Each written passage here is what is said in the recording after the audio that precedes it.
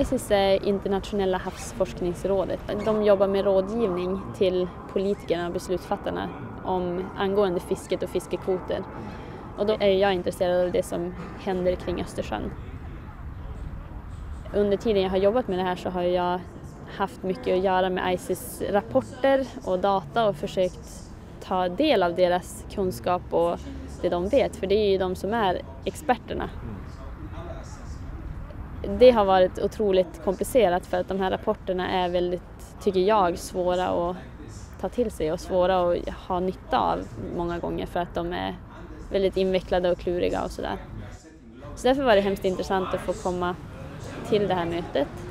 Och så var det också väldigt roligt för att jag har varit i kontakt med en del av människorna i den här gruppen och kunna få träffa dem och prata med dem personligen och ja, tacka för hjälp och sen se vad de har att säga så där när man träffar dem.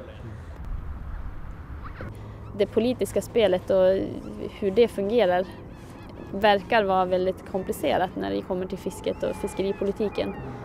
Vilket jag tror hindrar dem lite grann i sitt arbete.